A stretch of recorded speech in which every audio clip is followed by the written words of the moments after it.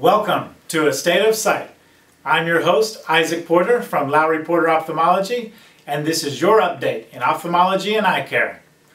We're coming to you this episode in high definition, and I want to say a big thank you to Mike Esser and Alex Ferguson for all the great tips that we've got from them over the past month on video.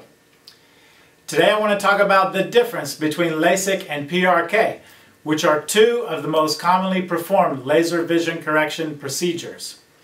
LASIK, you've probably heard about more commonly, involves creating a partial thickness flap in the cornea and then using a laser to change the shape of the remaining cornea to include the power from glasses or contacts onto the eye.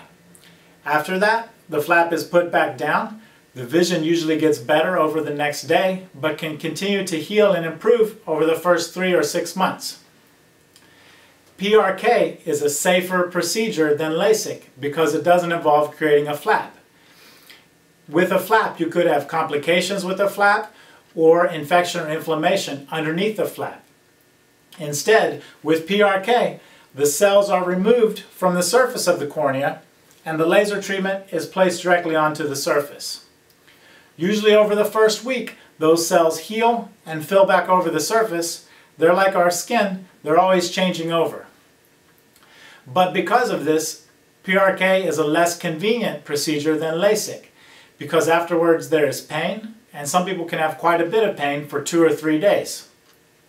It also takes longer for the vision to come back while the surface is healing. So some days can be good, other days more blurry, but over time it levels out, eventually getting to the same result as LASIK, but it takes longer to get there. PRK or LASIK may be more appropriate for different patients as some patients may not qualify for LASIK. When we raise the flap in the cornea, only the back remaining layers provide strength for the eye moving forward. Because of this, if a patient's cornea is too thin, we are worried that these back layers will not provide enough support to keep the eye and the prescription stable later on in their life. Because of that, these patients may not qualify for LASIK and may need to have PRK.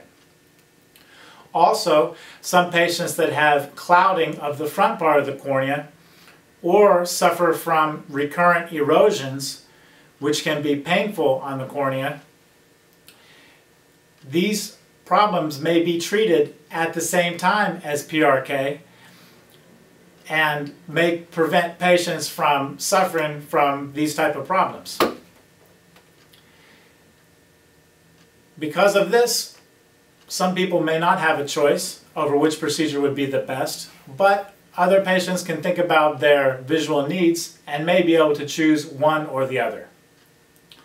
There are two other procedures similar to PRK called EpiLASIK and LASEK, L-A-S-E-K, but I will be able to discuss those further on a different episode of A State of Sight. Until next time, if you have any questions over LASIK or PRK, please post on our Facebook and we'll be happy to interact with you there. Until then, good health and good sight.